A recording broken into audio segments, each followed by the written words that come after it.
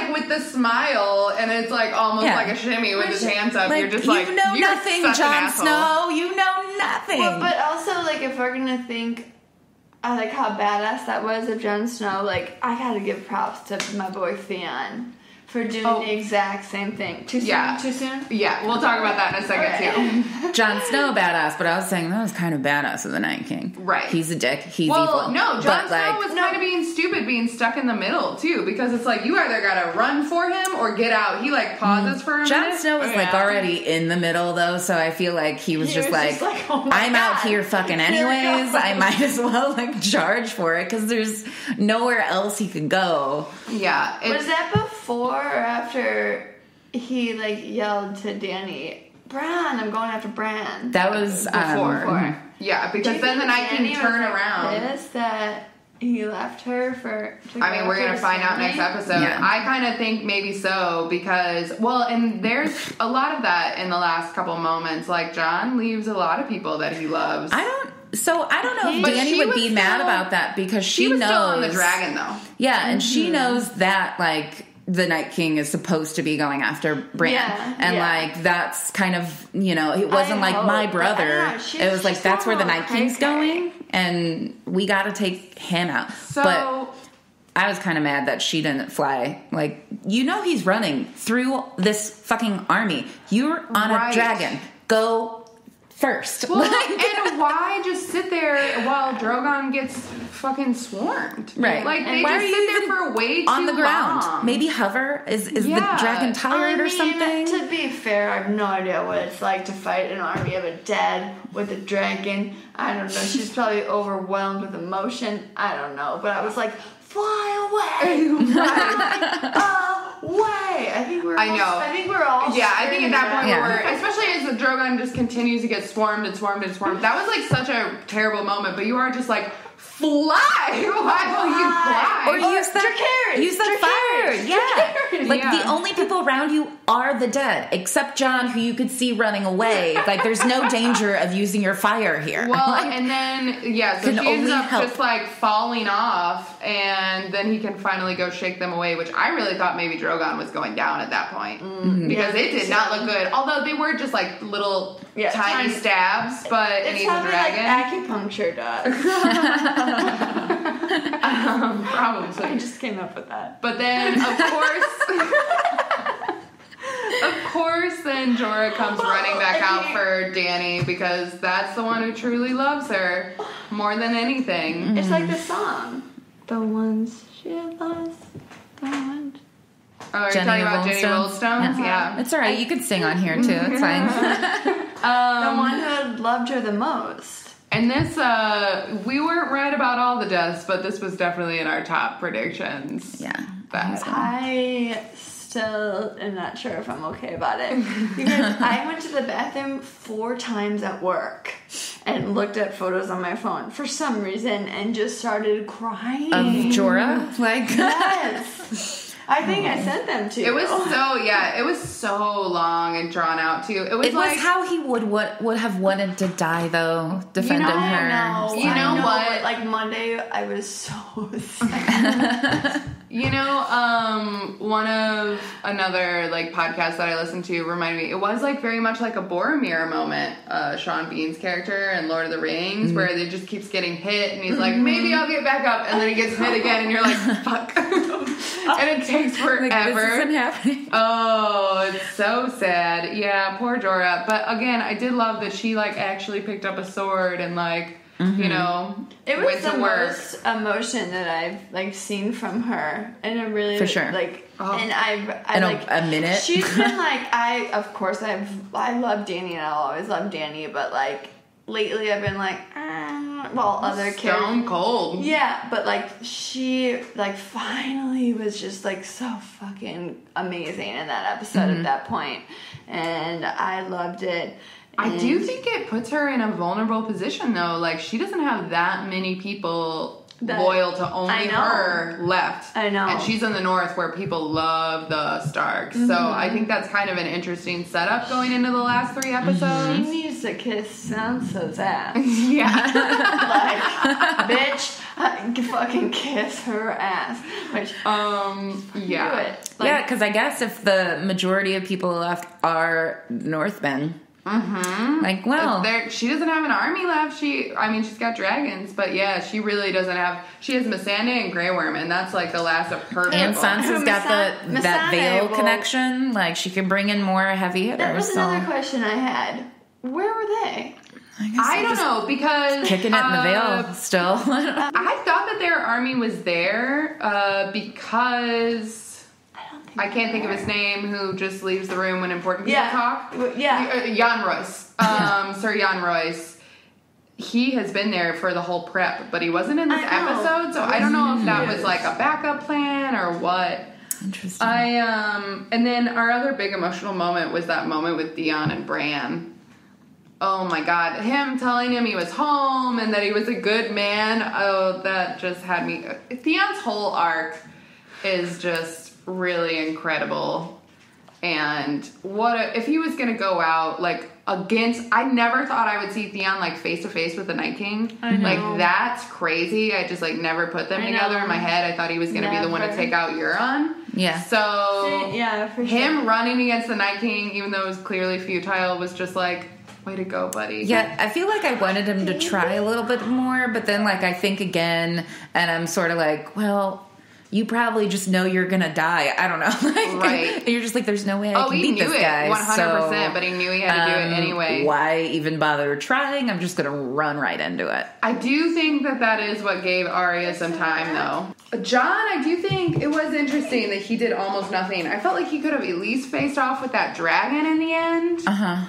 Yeah, I was surprised that like he didn't at least take out that dragon or and it was interesting too because he's trying to get there with Bran and then he just stops all of a sudden when the dragon comes, the last of Well- Assyrian as he's, you know, Yeah, I mean, I can see one needing to take a moment to think because, like, if you move, that dragon's gonna blast your ass anyway. I know, but he was like in the courtyard, just get behind a wall. I Well, he know. was behind the thing because No, he, he had to. just, like- no, because he had to stand up, and then he was Right. like looking in the face of the dragon. So like he was kind of like hiding underneath that that. dragon was going for Jon. yeah, like he, and that's kind of I think why he Well- finally stood up, turned around, and faced the the dragon because he's like, well, I'm not Contr- making this up. The, I- controls the dragon, right? I mean, I think that When they just are all on autopilot. Like mm-hmm. all the whites are just kind Kill of the well, living. White, yeah, but I feel like the dra- or the Night King can control certain. I think I'm with uh, I'm with uh, Olivia. I think it's like while he's riding it, but I think in that moment before it was facing Jon, it was on the other side of the courtyard, just like blasting anything it could see. You know, Yeah, yeah, yeah, yeah. Yeah, because he, he can't like though- warg into them, you know. Yeah, so. yeah. There was though a moment, kind of like the priority thing with Dany, where Jon did run past Sam getting buddies, dogpiled and yeah. didn't help him, which I thought was interesting. Mm-hmm. You Wait, know, who did? Jon ran past Sam as he's like getting Oh, dogpiled. because isn't that whenever you see like all of like uh, Everybody And losing their Jaime fights. Like and Tormund's getting Tormund. dogpiled. Jaime's getting dogpiled. Uh, Yeah. Everybody's Was- getting dogpiled. and that And he Jon was just has to leave run into them? Bran? Yeah.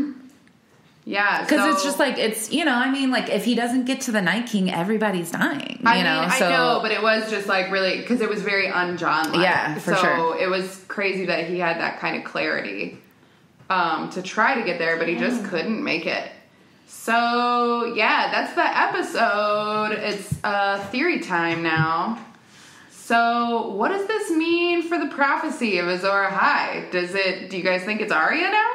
well so I mean if we're talking about the prophecy it's like I don't know I've read so many things already but I'm Uh, like well it's the, per, the like we're gonna bring back the warrior who was going to end the long night this episode was called the long night like Right. we're referencing the night king like has Or to the- be her Well, but like then what's the Nissa Nissa connection? It was supposed to come from the Mad King bloodline. But I agree, like it's weird mm-hmm.